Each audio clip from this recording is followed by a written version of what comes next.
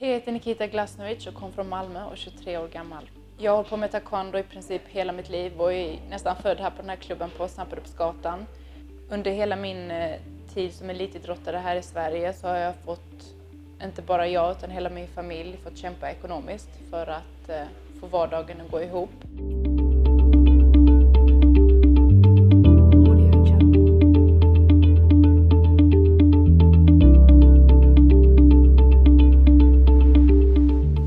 gå igenom en, en stor process som var ganska tuff eh, för att byta land eh, och bestämde mig för att göra det. Och nu är jag, har jag full support.